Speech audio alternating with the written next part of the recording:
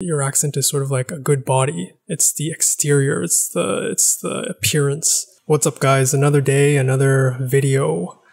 So today I wanted to talk about accents. Accents. Accents when you're learning a language. Very cool topic, right? This is something that I've thought about recently. I've thought about a lot, especially while learning Mandarin Chinese.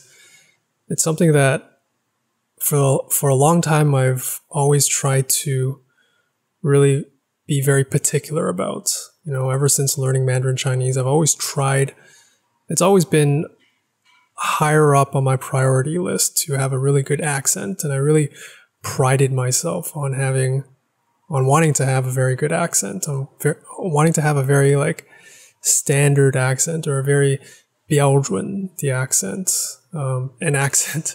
Um, and and so it's a, it's an area where I've focused a lot of attention on, and not that it's been a bad thing, but uh, it's it's something that I've been thinking more and more of. Um, I definitely think having a standard or having a an accent that uh, is understandable, is intelligible, is definitely good. I think working on, especially with Mandarin Chinese, working on your pronunciation, working on your tones, uh, whether it's the four tones, whether it's the the you know the different the, the different pronunciations in in Mandarin Chinese is definitely very important. You know, for me, uh, and I, I think for a lot of English speakers, there are some difficult aspects. For example, like the ZH versus Z, uh, Z. I don't even know like the retro. They call it retroflex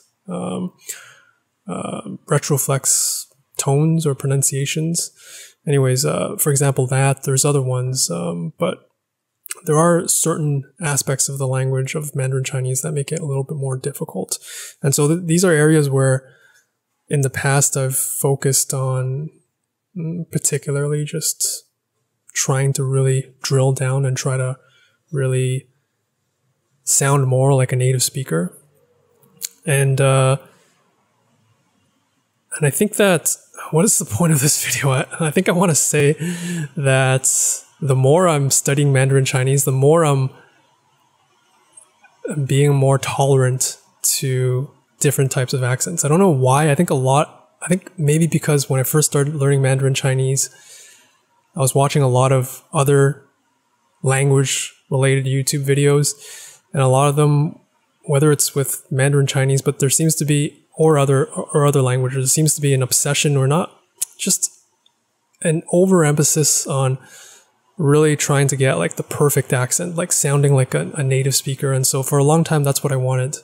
But as i'm learning more and more i'm becoming more tolerant to being okay with my particular accents my unique accents and and um, you know the the foreigner accent or um, because at the end of the day, an accent is just it's unique. It's it's a it's a rep- it's a representation of where you grew up or where you learned your language. Like for example, people who grew up in Taiwan are going to have a Taiwanese accent. People who grew up in mainland China, depending on their local area, they're going to have their their accents are going to be influenced by the local dialect. And so a lot of times I would be maybe ashamed of my accent, um, whether it's like a foreigner accent or, for example, if I'm living in Taiwan. I remember distinctly when I first came here because I was learning a little bit more of a standard mainland accent before I came to Taiwan.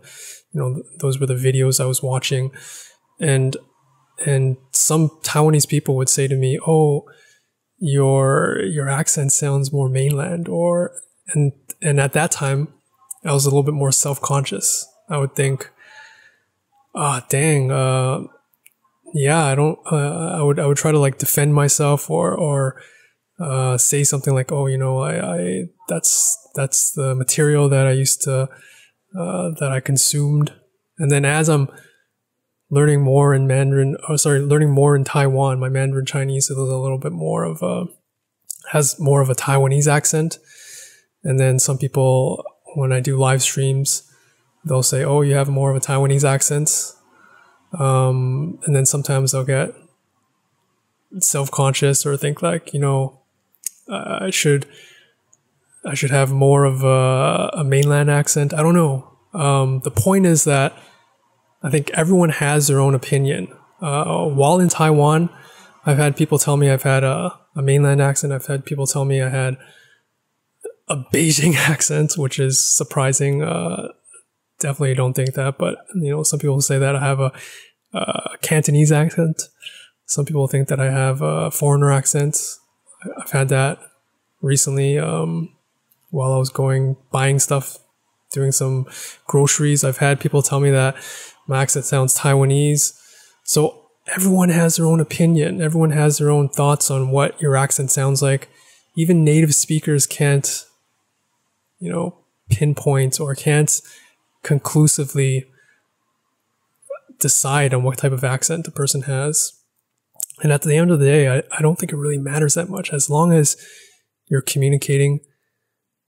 At least I think, as long as you're communicating what you want, I think the accent is sort of like a flare. It's sort of like, I thought about this recently where I was like thinking, your accent is sort of, it's sort of like when you're working out and your accent is sort of like a good body. It's the exterior. It's the it's the appearance. And so if you have a very good accent, if you have a very like standard accent, then you're you have a body that looks really good.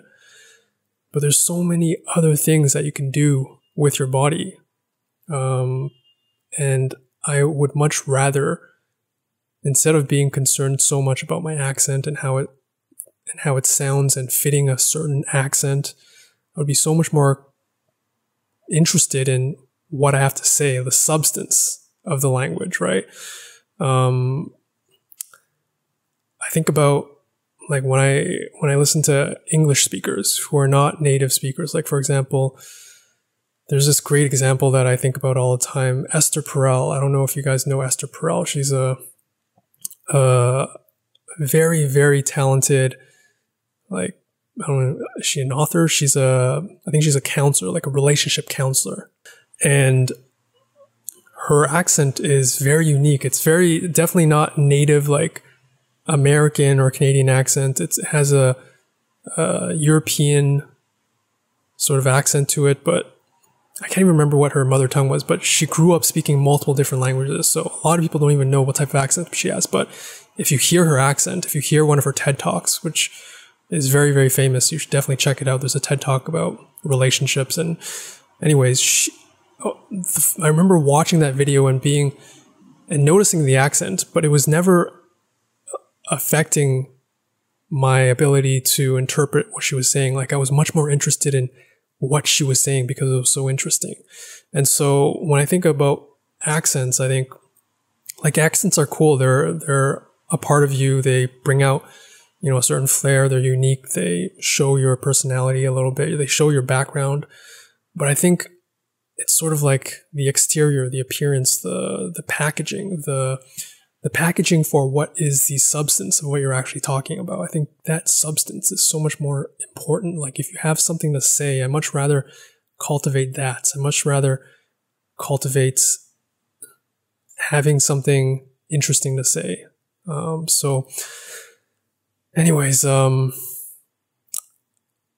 all to say that I think that I've been thinking a lot about accents. I think, I think focusing on trying to have like a good accent is, is great. I think it's a, it's a, it's a great goal. It's like working out, but I think I also want to be focusing on what I can do with my body, you know, playing sports, uh, climbing, you know, hiking, going, doing physical activity, what, like functionally. And I think that's akin to sort of the substance of what you're, what you're talking about. So accents are definitely important. I think they're important to you if you think it's important, but I think it's important also not to place too much emphasis on it if you're just using it as a way to conform to others or to please others because everyone is going to have their own opinion even native speaker, even native speakers can't like put you into conclusively put you into their own box. Like they all have their own opinions. Everyone has their own opinions about what your accent is going to sound like, and they're going to put labels on you know, you're because you sound like this, thus this, this, this, but you don't have to you don't have to give yourself that baggage, right? And so for me, I'm going to I'm going to still focus on my accent. I'm still going to try to improve it, make it sound uh, nice, you know, whatever that means to you. I'm still to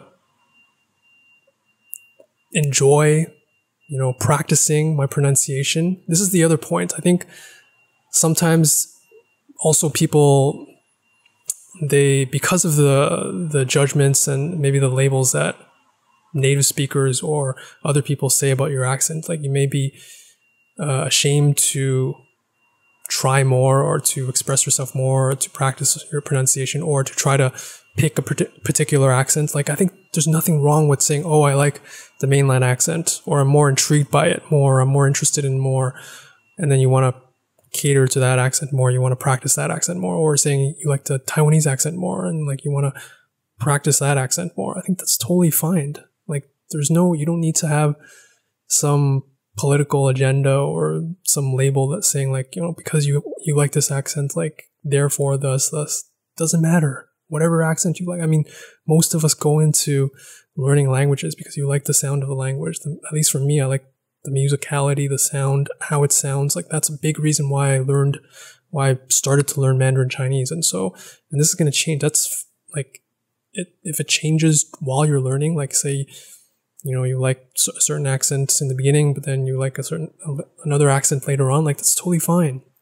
The point is just do whatever you like. Don't worry too much about what other people think. And I think for me, that's, that's something that I need to work on. And also I need to, I think I want to, focus on accents. You know, I want to enjoy speaking in uh, certain accents, practicing my pronunciation, but also want to focus on what I can do with that language.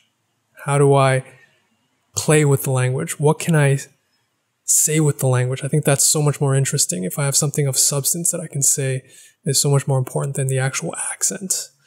So, um, just some thoughts that I had recently about accents while learning a language. Let me know if you guys have similar ideas or if you guys have thought about accents. What do you guys think? Let me know in the comment section below. See you guys next time.